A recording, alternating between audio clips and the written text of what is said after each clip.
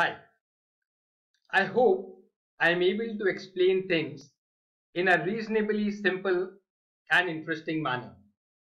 Just in case you have any doubts or queries, you can always connect with me. It will be a pleasure to explain things in more detail.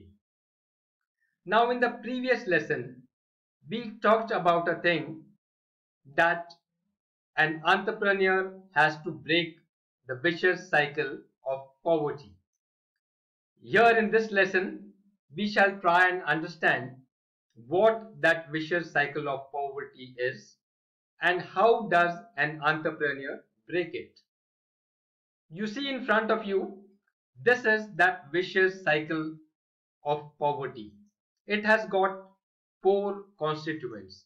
You can start from any point. The cycle will not change. The four essential parts or the four essential constituents are the demand for the goods and services, production by the industry to meet the demand, then profit earned by the industry, and income in the hands of people. Let me explain.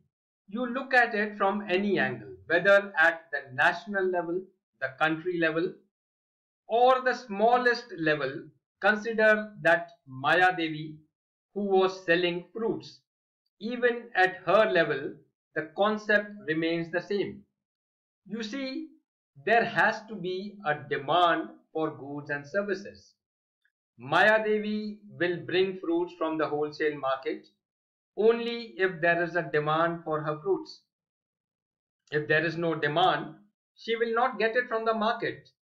If there is no demand, industries will not produce farmer will not produce fruits, vegetables and grains, isn't it? So if the demand is less, then the industry will produce less. Got the point? If there is no demand or if the demand is less for anything, any goods or services or fruits, vegetables, grains, whatever. If the demand is less, then the industry, the farmers will produce less. And when they produce less, then they will earn less profit. They will not grow, they will not diversify, they will earn less profit. And when they earn less profit, they will offer less employment. Employment will not grow, industries will not grow. And when there is less employment, the income in the hands of the people will be less. Got the point? Unless there is demand, industry will not produce. If the industry does not produce, they will earn less profit. If there is less profit, then people will have less income in their hands. You look at it from any other angle. Let us see in the reverse direction. Alright? See the demand cannot increase unless income in the hands of people increase. People will not come to buy fruits of Maya Devi unless they have money in their hands. People will not buy clothing, people will not buy car, people will not buy television unless they have money in their hands. Alright? And income or money cannot increase unless the industries make more profit, unless there is more employment.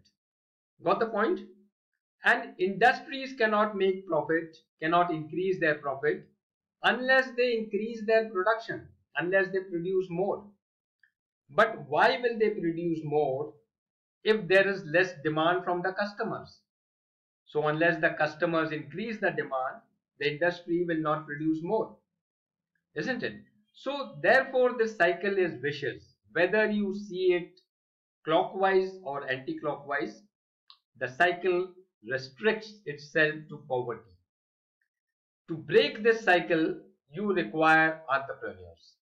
Not one, but millions of small entrepreneurs at the local level, right from the level of Maya Devi and that school teacher Janet, and small, small industries, you require millions of such entrepreneurs to break this cycle of, of the cycle of poverty at their local regional level and ultimately that cycle at the national level will break.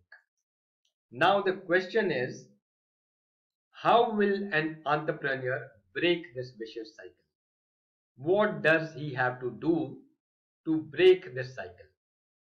One thing what he can do is an entrepreneur can increase demand.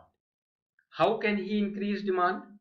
By developing new products, new customers outside the local area, outside their local region.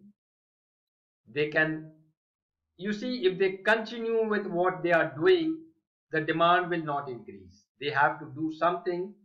They have to develop some new product in a new manner, in a new market, and then the demand will increase. Another thing what they can do is they can increase the production by increasing or introducing cheaper and better technology. Alright. They cannot just increase the production unless the demand increases. But they can increase the production by introducing cheaper and better technology.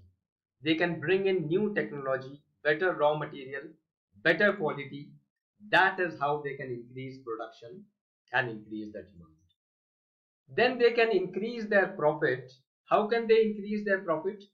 By finding new and better ways of producing things, better manufacturing technology, better way of stocking the material, better ways of shipping the material, better ways of marketing and selling the material, reducing the wastages, increasing the efficiency of their production. In all these manner, the entrepreneurs can increase their profit. And once they do that, it will ultimately lead to increase in employment generation and increase in money in the hands of people.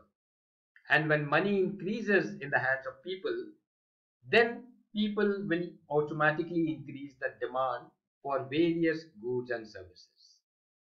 Got the point?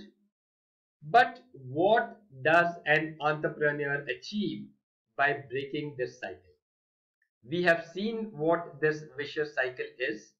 We have also seen how an entrepreneur can use his innovation, ingenuity, and all those qualities and break the cycle of poverty.